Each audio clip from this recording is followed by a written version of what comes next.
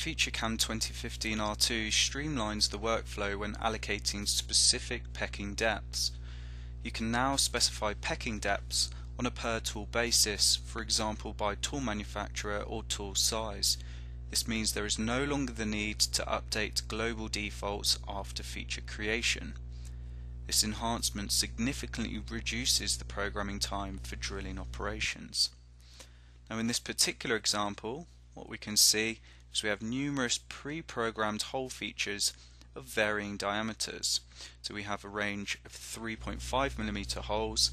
We then have some countable holes drilled with a 5.5 millimeter drill. And finally we have some 7 millimeter holes. I'm going to go ahead and look at the CAN cycle defined within my post processor. So this is a post for a Bridgeport Boss 9 machine. So I've navigated to the cycle deep hole and what we can see is we have a two-step cycle defined in this area. So we can exit out of this. And if I go ahead and navigate to my machining attributes, what we can see are global settings where the user can specify the different pecks that they wish to use. As we mentioned, this current post processor uses a two-step CAN cycle therefore the first two parameters of first peck and second peck will be used. And we can verify these values are being used within our features. So if I go ahead and come to my 3.5 millimeter drilled holes, navigate to the cycle, we can see the first peck it's 100% of the tool diameter 3.5 and the second peck at 50% of the tool diameter.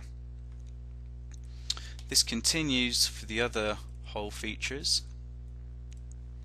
We can see 100% of the tool diameter and 50% of the tool diameter and finally for the 7mm hole we can see 7 and 3.5 being used.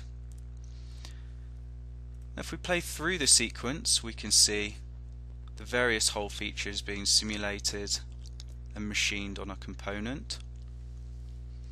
If we take a look at the component from a front view we can see that the 5.5mm drill depth is significantly more than the other holes on our particular component. Subsequently we may wish to use a smaller peck to ensure swarf material is being removed suitably from within the hole. So we now have a new tab which we can do this within the tool properties. So I've navigated to my 5.5mm drill and what we can see we have a new pecking tab where we can specify pecking per tool.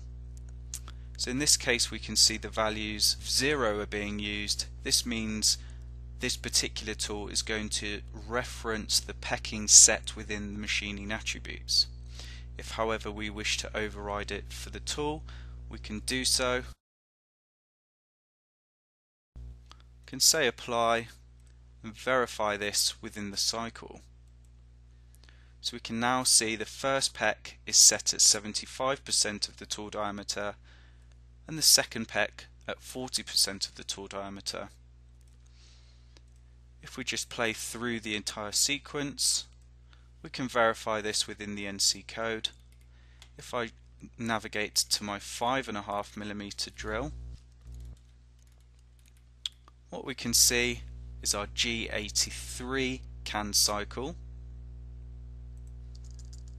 And we have our two steps shown like so.